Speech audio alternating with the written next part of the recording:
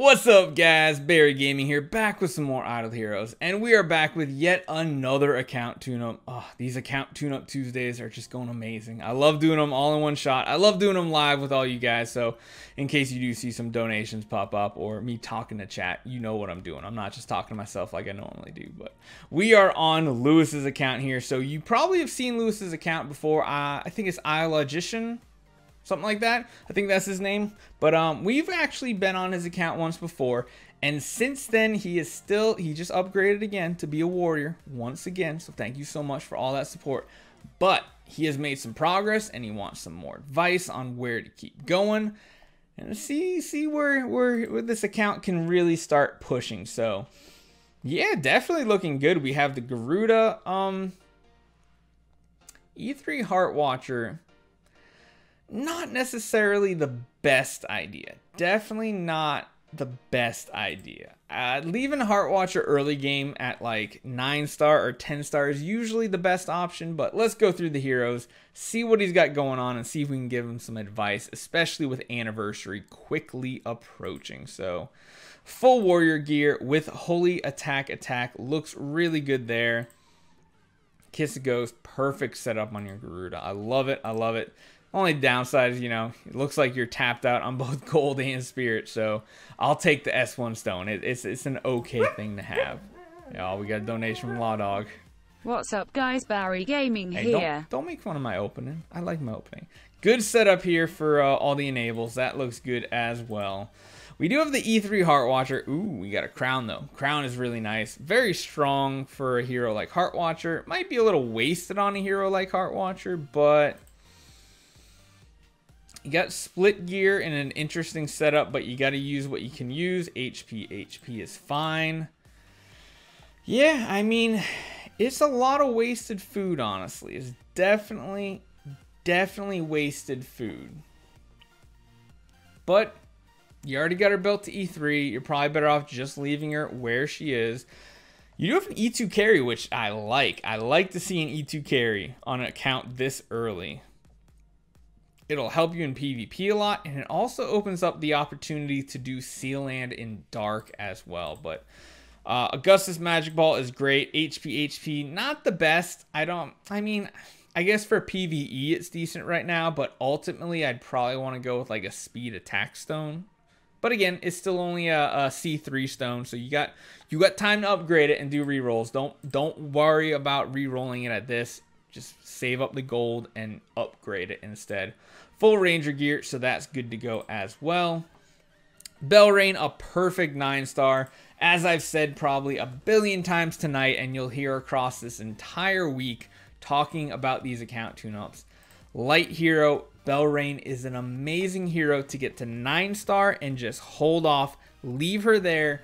She will do fine to give you a little bit of healing and a little bit of survivability in your PvE and PvP because, you know, the best thing about her is when she dies, she does some big old burst healing for four rounds. So it's, it's, even at a nine star, she can do decent. It's not going to be a ton of healing, but it's going to be enough, especially paired with a Garuda that already heals when uh, when someone dies. It definitely works out pretty well. Um, besides that, though, not too much going on. We have we have Carrie copies. I'd like to see that. And see, this is why I feel like, oh man, if you had if you had the 10 star that you used to feed to uh to Heartwatcher and the two other nine stars, you would have Carrie at like E4 right now. Man, that would feel so good having an E4 Carrie. Would I tell you to ever regress your Heartwatcher and rebuild her? You do have soul symbols. Nah, I mean, at least not right now. Man, it would feel so good if you could actually have a strong Carrie, though. She would be so good, so good in PvP, but... Yeah, yeah.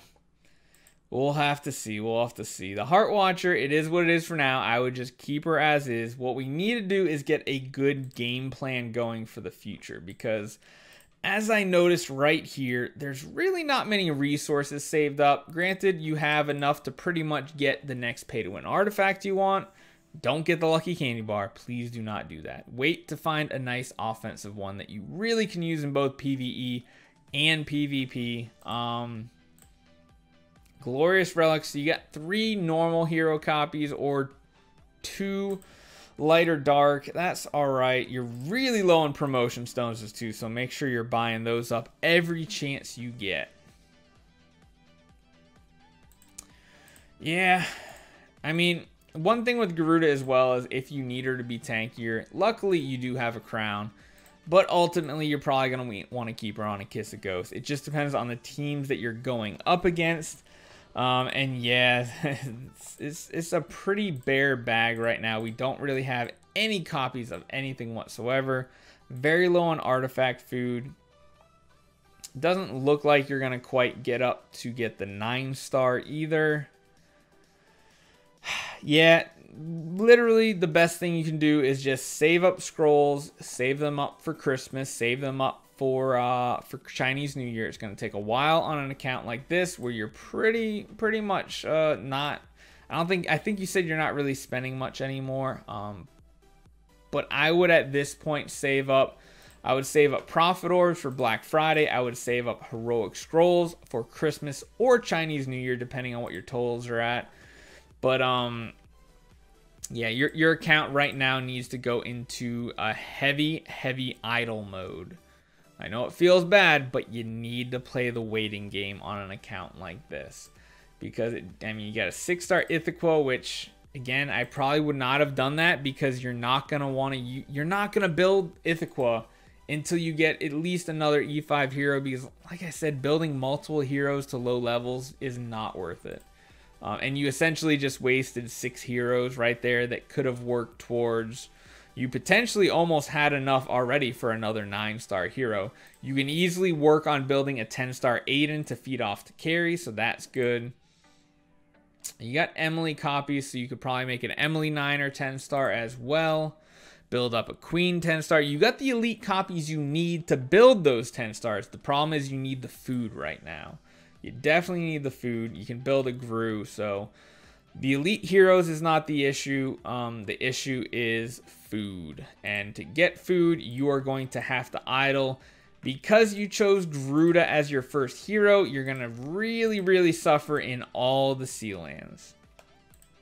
I mean, honestly, even here, this is going to be a really, really rough time to actually have any type of progress here. Because even with, uh, I don't think you can get much further with what you have.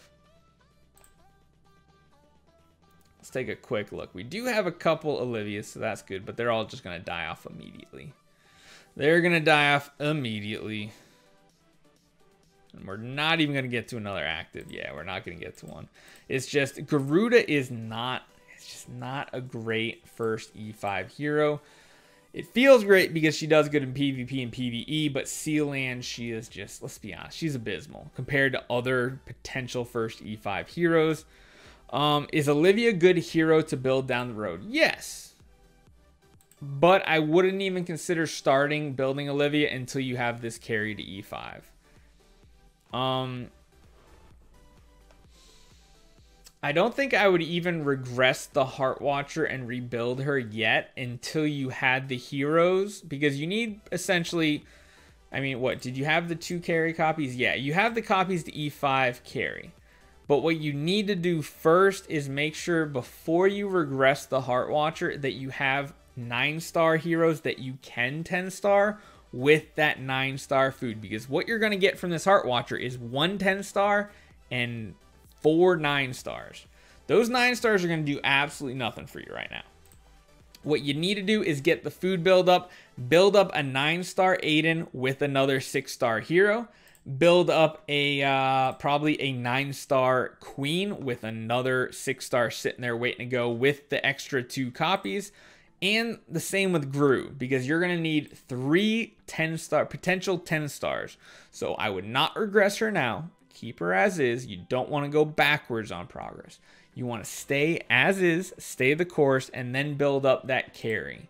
Because once you build that Carrie up, if you can get a couple more baby Amen-Ra's and build like a six star Aspen, you could probably push pretty far in Dark Sealand. You probably could get, if you can get like two more 10 or 5 star Amen-Ra's, you could probably get to like 15, 16 in Dark Sealand if you have an E5 Carrie. Because the Carrie at E5, 10 star, even 10 star and over Carrie, her energy drain is much, much more reliable. So you can avoid those dragon actives, save so much.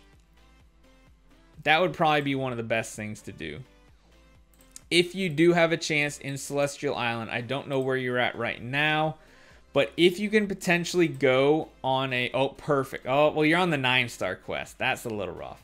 I would say um probably start working on the 6 star dark uh missions so that you can get 6 star dark puppets because dark is it's gonna sound weird guys but dark is probably gonna be your best avenue to get sealand progress since you built a garuda because garuda really it takes a lot to get a garuda lineup going in sealand whereas dark if you get an e5 Carrie a six star aspen and then a couple of uh couple of Amen-Ra's you'd be sitting in a pretty good spot so I could buy two six star puppets from the new event um, yeah, but it's still not going to be quite enough for what you need. It's not going to, you, you just don't have the food right now without, without burning good elite heroes. I would just, I would still go to idle mode. Just make sure you're getting all your four star fodder. Once the, uh, the monthlies come up, then use all your four star shards, get your heroes going and work on from there.